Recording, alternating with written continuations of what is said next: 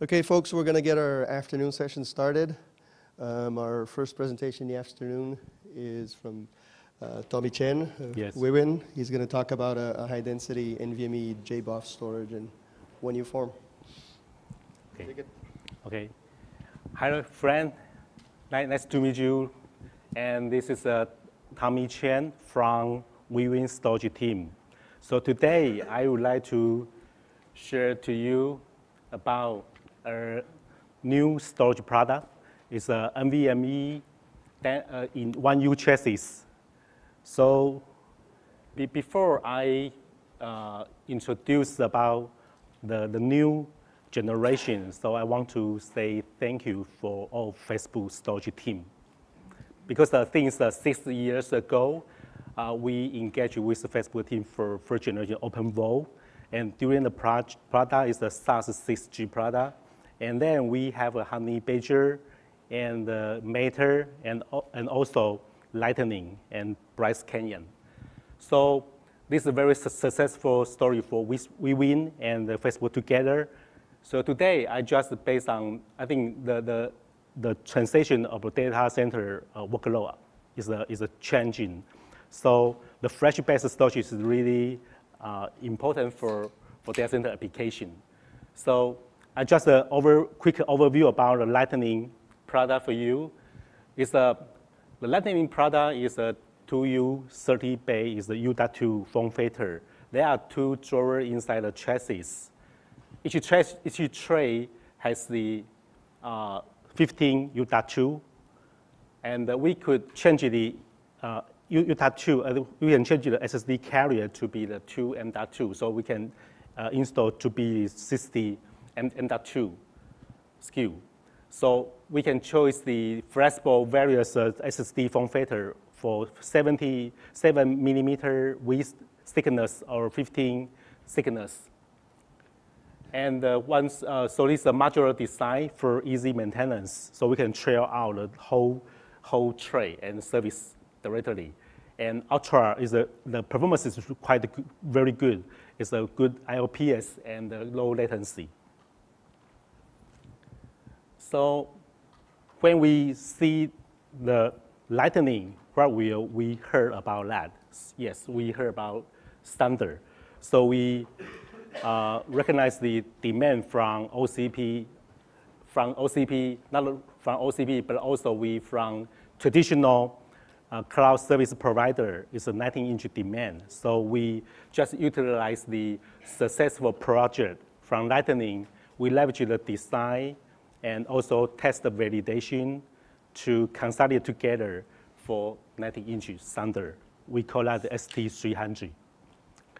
So today, I would like to share to you about the Thunder. The key feature here is uh, this is a 1U 24 bay. It's a U.2 form factor with two, uh, two, two six, by 16 Gen 3 uplink to s- different server. Okay, and this is uh, we have a two power supply inside, and also we have a five fan module. It's a four plus one. And the drawer, you can see that here is the drawer design. So we can trail out the upper U, so you can trail out and then we can service the, the drive directly. And uh, based on that application, we support the Intel SD. So the flexible SSD resource assign- reassignment can be supported in this product. And excellent system performance. Later on, so I will share to you about the Thunder, the architecture, and also the manageability. I will share to you about how to manage the system from software standpoint and also from cable routing standpoint. And then I will share to you about the performance data based on the, the real testing data. So this is uh, the system architecture of Thunder. So in front, we have two IOM module. This is a by 16 by 16, the four by four mini SAS HD connector um, in front. And also, we have the other IOM module in rear side, so that can allow us to, to uh, change the cable routing in front or, or front or in real side. We can choose either one, depending on the cloud service provider needed. And this chassis, we can trail out when the trail out, you can see there is the dry preamble in, the, in here. So the, the state in, in, in upper side is S, uh, U.2 SSD. And we put the PCIe switch chip on button. That is the upside down design. And okay, let's, the power supply here, we have a one plus one power supply and uh, 4056 Fan module, we have a five piece, is four plus one. And this area, you can see, sorry. You can see here, this is a fan control ball. In this ball, if it can sit uh, five fan module and two power supply, the cable here is the deliver the 12 volt power from FCB to driver plane ball. So you can see this arm, this cable arm is internal cable arm.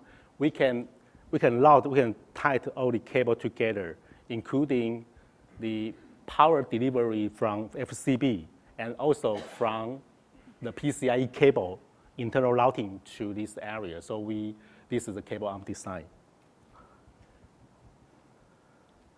So later I will share to you about the system block diagram. In this block diagram, uh, we have two IOM module. The IOM module there is the RJ45 and also we have the PCI by 16 internal cable from the from IO, uh, IOA module to the JetPlan board. So the, the cable here, we, we are using about the uh, OCuLink cable for internal cable routing. And uh, this is the main parts here. So this is the JetPlan board. We have a two Microsemi PCI switch here. And also, we have the BMC for the whole enclosure management. So the internally, we use the P, uh, I2C switch to manage the hard drive status, uh, uh, SSD status, and the temperature information for, for BMC. Also, we reserve the internal link between two PCI switch. We reserve by A, by A between two. So this is a system block diagram. So we based on that diagram to have the different kind of application. The first one is we, we connect the server through the external cable, PCI cable. We have two cable routing. So the total bandwidth here is by, by 32. And this is for performance reason, we want to have the better IOPS and throughput. So the other application here so we, we have a two independent server to connect to, to the one side of the IOM module, the other one to the other, other IOM module. So during a case, we utilize the internal by a channel. So we can access server host one can access the SSD through this switch to the down switch, and from the host two, we can access to the, to the, the other side. So the total, total disk can be arrangement or do some uh, resource assignment by the B and C. So this is, a, we were based on that for, for resource arrangement. Okay, for the manageability side, we, from this is the server side, we have the CPU, sorry, this CPU side, we use the we use the we use the same cable from Lightning. So the cable we have the USB and I2C uh, seven signal inside. So host can access the the can, can access the switch status, the, the PCI switch status through the USB interface or I2C interface. And the NIC, we have the other RJ45 for enclosure management as well. So outside, we can go through the RJ45 channel to access the BMC. So this is the enclosure management. Also, we also support the uh, firmware update from host or from remote side. So it's through the interface, BMC can access the switches through the uh, UART interface. Uh, the, the product here is, a, is a very flexible for traditional 19-inch data center customer requirement. So we have the front view, we have a we have two PCIe by 16 in front, and uh, this two is a two PCIe by 16 in rear. We can, based on the cable routing requirement, we can, we can route the different kind of paths. Okay, so this is from front view and the real, real side cable routing. So that means we want to have the front access. We can utilize the uh, 19 inch It's an OCP server, it's a front access. We, we can uh, install the existing PCI retimer card inside the server and use the traditional cable to, to the Thunder directory. Or we can use the traditional generic server from real side is put on the retimer card as well. We can through the PCI cable to connect to Thunder directory. So this is uh, allow us to uh, application this machine system to different kind of uh, data center requirement. And later on, I will share to you about the, the, the, the real testing about our performance data. We will I will compare about the, the JBOF SAS hard disk and uh, we, we have the other SATA SSD and compare the NVMe PCI SSD, the performance data. So later I will share to you about the, the throughput and the IOPS and the IOPS per watt. So that means the price, CP value is the price per watt. Right? Okay, so this is the testing, real testing data. So the the blue color here is hard disk. So we compare, the, the second one is a SATA SSD. So this one is a NVMe JBOF. So the, from the throughput standpoint, it's better.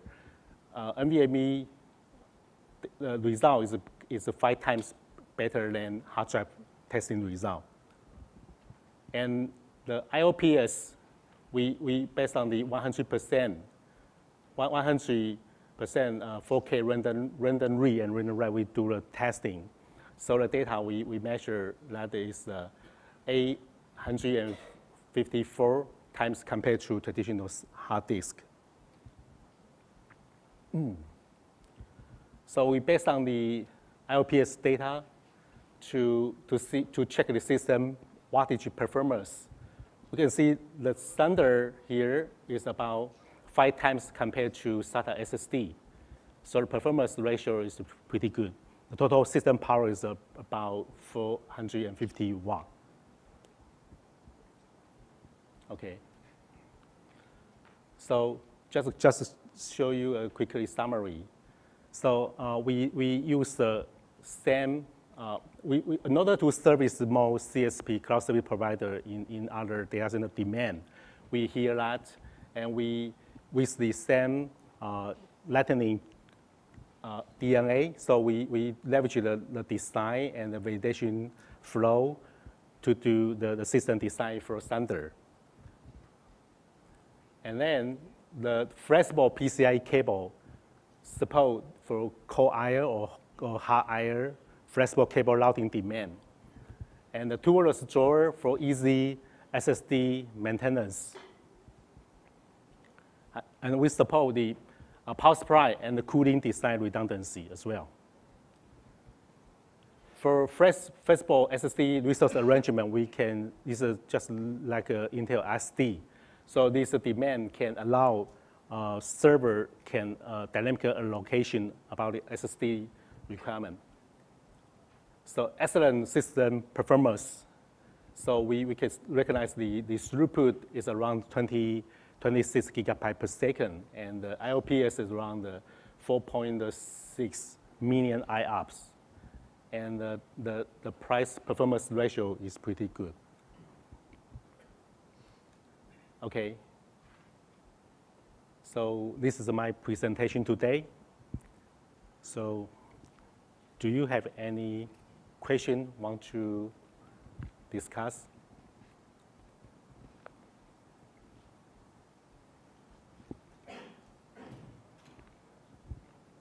Um, yeah, are you planning on supporting dual port NVMe at some point? Dual Sorry? ported- Dual ported drives?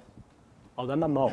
Are, are you planning on supporting dual ported drives in, s- at some point? No. Yeah, because the dual port uh, SSD drive is supposed dual host, then do dual two PCI switch.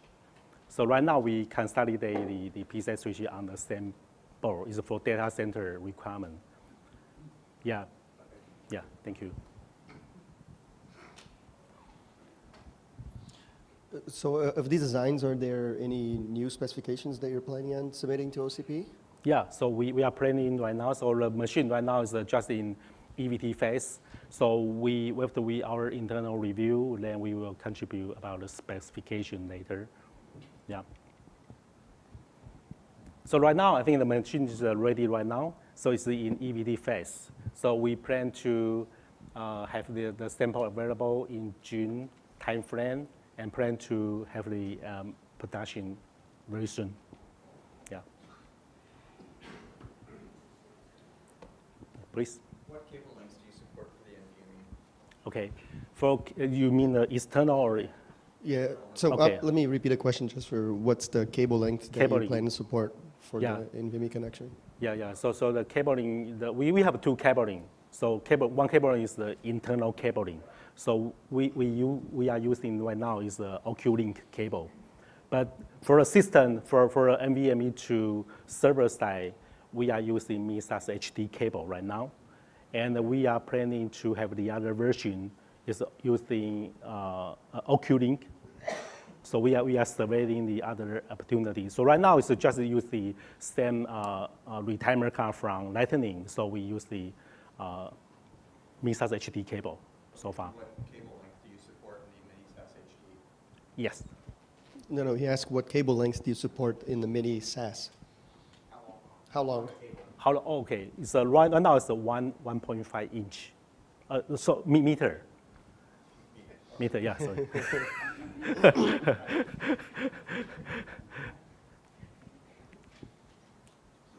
Please. You show more than uh, double the performance for the, the uh, NVMe SSD versus the SATA SSD. Is that bandwidth or is it more parallelism? What's the reason 5x instead of 2x? Okay, let me go back. So you mentioned the, the throughput. Yeah, because the, the, the native of the native SSD behavior, the SATA SSD, the, the, the IO, the throughput is around 500, 5 meg, 500 megabyte per second. The. Yeah, this is the- because this uh, a disk behavior. So this uh, la- latency things put together. So so this is five five times compared to two times because the about there's uh, some protocol translating and all the behavior from na- native disk behavior. Okay.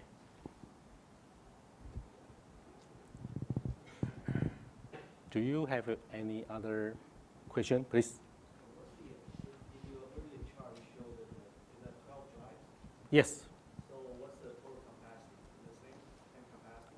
Same capacity. Yes. So we use the one, 1.2 terabyte for testing. Yeah, 1.2 terabyte. So we can see the chart here.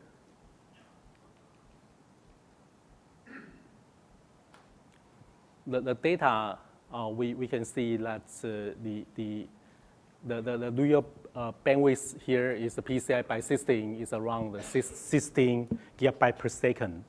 And our real testing is, is reached to 13 gigabyte per second. It's very close. Yeah. So, but the IOPS, I think we we we did some testing before. So, uh, for read is uh, is good, but for write, if what we test uh, almost uh, it's around 15 minutes. So the, the performance is better. Write performance is better than read performance. But after we test uh, more than one hour or two hour, so the write performance will, will become drop. So this is because the, the, the native of SSD behavior so far.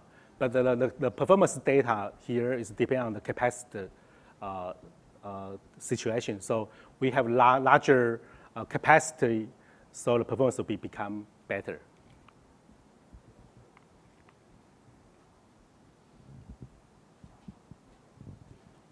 Okay, any question?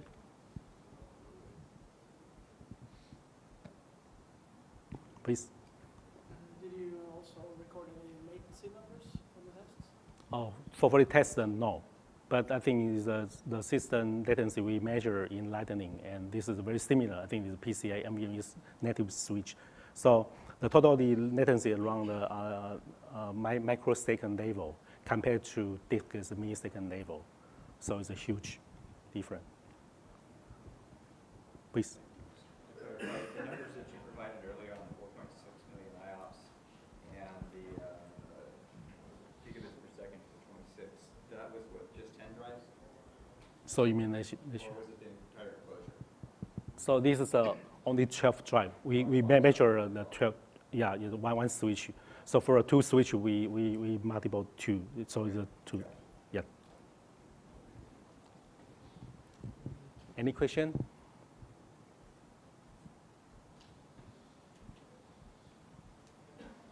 So I think it's just a remind to you, this is a very good, good uh, example for, for Wiwynn as well. So we utilize the uh, very successful Lightning product, and we, we hear everybody's demand. So we, we, we, design and we form factor based on the proof design concept to, to new product. So we will do more project based on this, is- this uh, scenario again. So this is a very good start from here. Okay, thank you for, for your join today. Thank you.